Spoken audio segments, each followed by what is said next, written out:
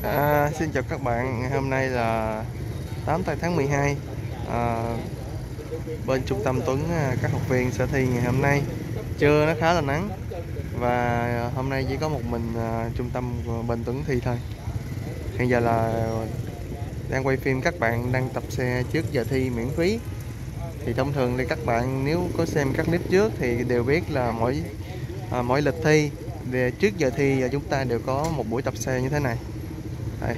Thì các bạn à, đa số là chỉ tập vòng số 8 thôi.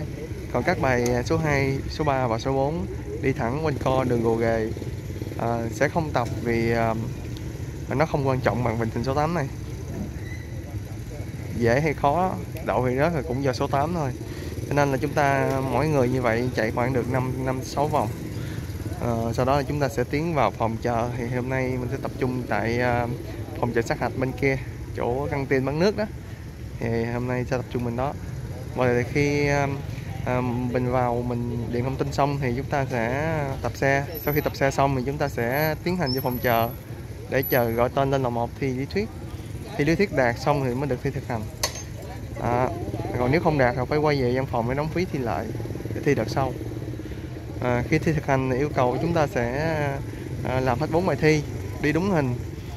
À, số điểm tối thiểu mà chúng ta đã đạt là phải là 80 và hai lỗi bị lỗi ba lỗi bị lỗi trực tiếp là uh, đi sai hình số 8 là rớt ngã xe và hai bánh xe nằm ngoài hình là rớt.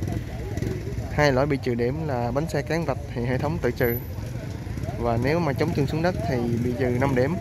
Cái đó là giám khảo sẽ chấm. Hai lỗi đó lỗi nào cũng bị trừ 5 điểm hết. À.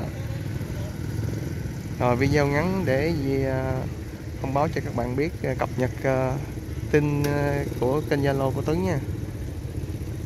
À, số Zalo của Tuấn là số ờ, 0907320606 thì nếu các bạn có muốn đăng ký à, trong tháng 12 thì hiện giờ có ngày 18 đây là sớm nhất.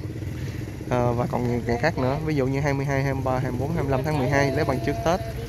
À, vui lòng liên hệ với Tuấn số điện thoại 0907320606 đó là Zalo của Tuấn luôn nha. Xin chào các bạn nha.